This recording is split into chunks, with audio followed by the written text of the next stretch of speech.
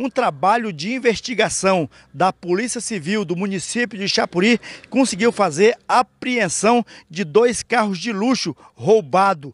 Três pessoas foram presas, são elas Cleverson Santos Barbosa, natural de Goiânia, Bruno Alves, esse natural de Rondônia, e Tiago Felipe, esse do Paraná.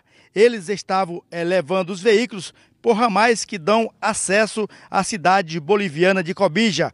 Essa operação teve o apoio das polícias civil de Brasileia e Epitaçolândia. O flagrante está acontecendo na delegacia de Chapuri na manhã desta quarta-feira. As três pessoas, após serem ouvidas pelo delegado de Chapuri, serão encaminhadas para o presídio da capital, onde ficarão à disposição da justiça.